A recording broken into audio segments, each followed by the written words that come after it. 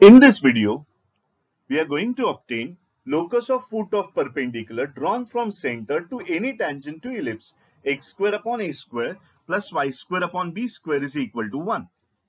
Here is the solution. First of all, I have considered ellipse a greater than b. These are its axes. Now for this ellipse, I have shown tangent. So here is the tangent to the ellipse. This is the center of the ellipse which is at origin.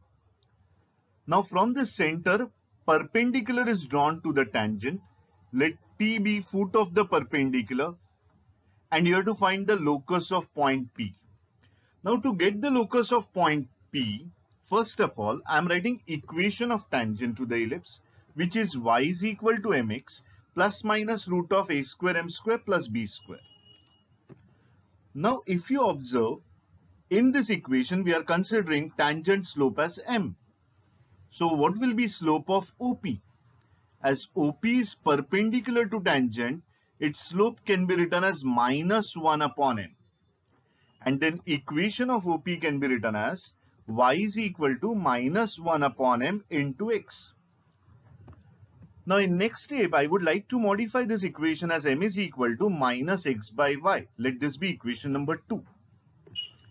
Now to get the equation of P, which is foot of perpendicular drawn from OP to tangent, drawn from center to tangent, I'm solving these two equations in such a way that m will be removed from the equations.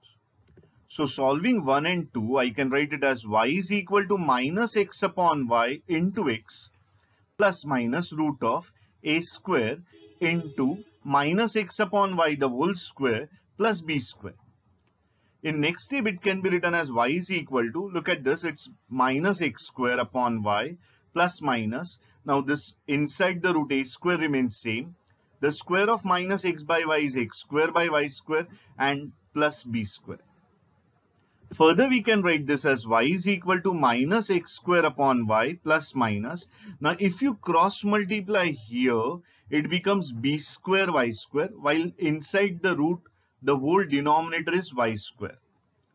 Now, if this y square comes outside the root, it becomes simply y and I'm multiplying throughout by y so that I can write y square plus x square is equal to plus minus root of a square x square plus b square y square.